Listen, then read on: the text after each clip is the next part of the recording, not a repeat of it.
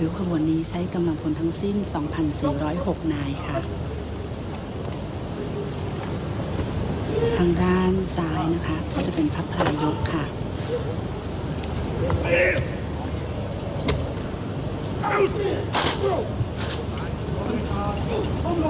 แ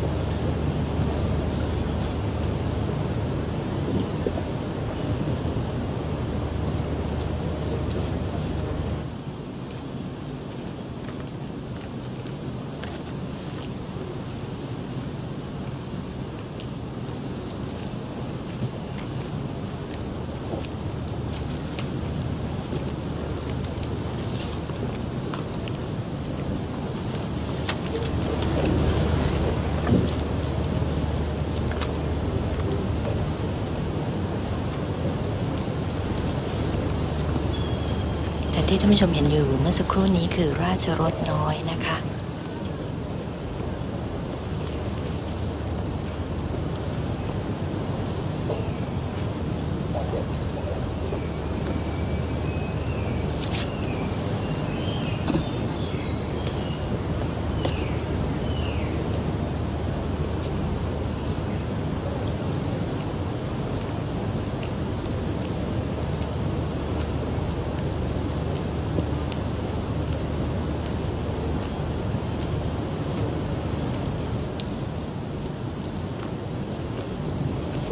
อีกสักครู่สมเด็จพระเจ้าอยู่หัว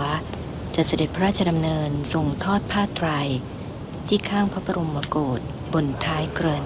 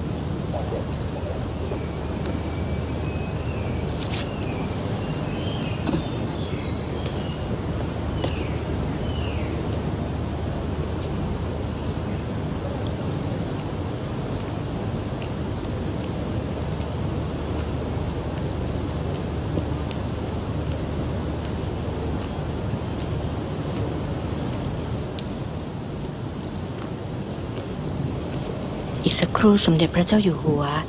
จะเสด็จพระราชดำเนินทรงทอดผ้าไตร ที่ข้างพระบรมโกศบนท้ายเกริน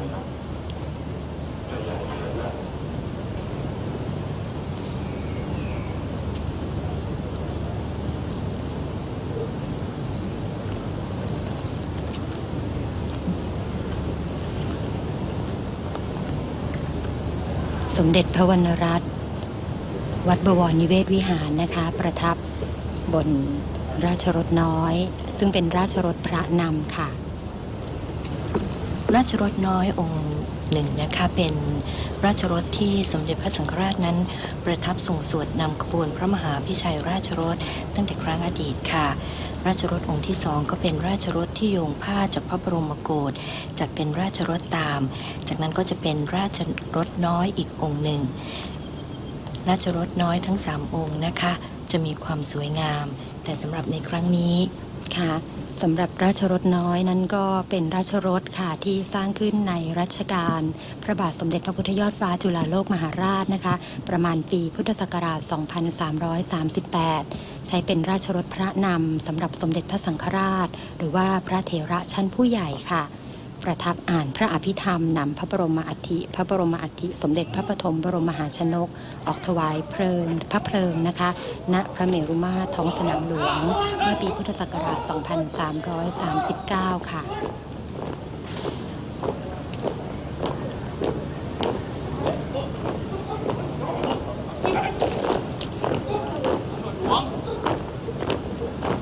เอายัดตายอัน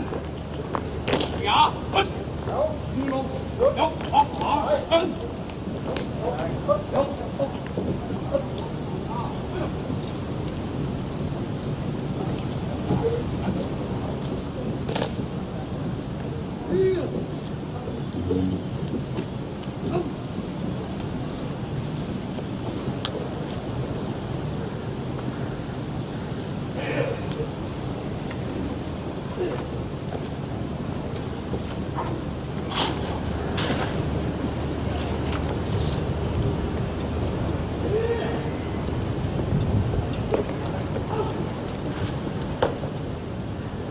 หลังจากที่สมเด็จพระเจ้าอยู่หัวทอดผ้าไตรที่ข้างพระบรมโกศบนท้ายเกรินพระสงฆ์จะได้สดับประกรณ์ค่ะ ซึ่งพระสงฆ์ชุดแรกได้แก่ พระเทพวีราพร จากวัดพระเชตุพนวิมลมังคลาราม พระราชรัตนสุนทร พระครูสิริวีราพร พระมหานริน อภิชันโทปรเรียนธรรมเจ็ดประโยค พระครูประหลัดกำพลกิติเมธี ซึ่งพระทุกรูปนะคะ มาจากวัดพระเชตุพนวิมลมังคลาราม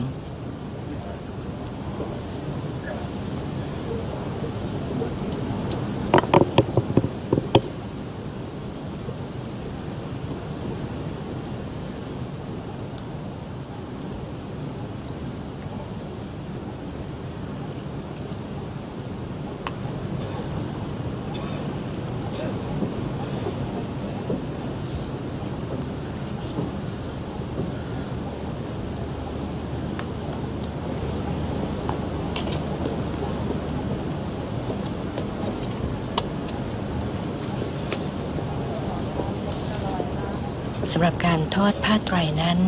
จะส่งทอดผ้าไตร เที่ยวละห้าไตรสี่เที่ยว ทั้งหมด 20 ไตรค่ะ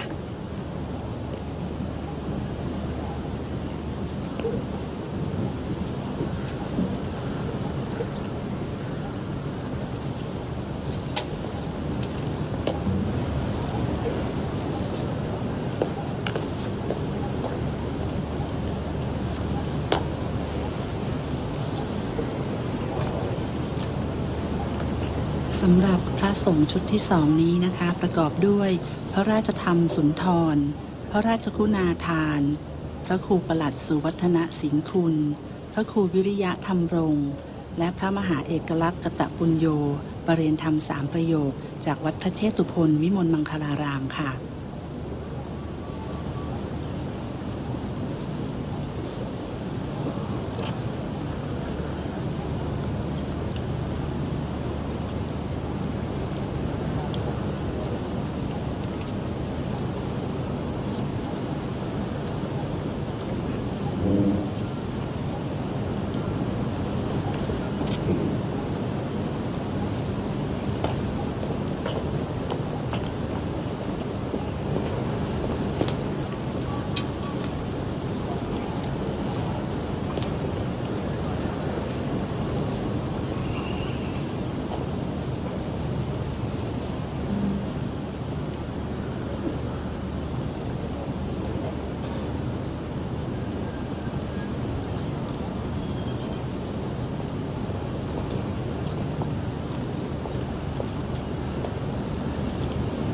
สำหรับ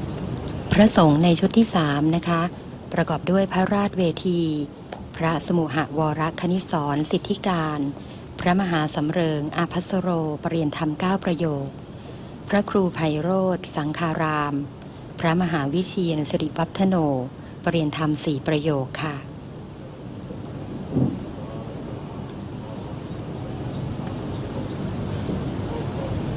เป็นแบบนี้ทุกครั้งจนครบสี่เที่ยวนะคะ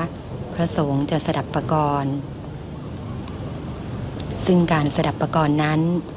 ก็เป็นที่เข้าใจโดยทั่วไปว่าหมายถึงการบังสุกุลค่ะ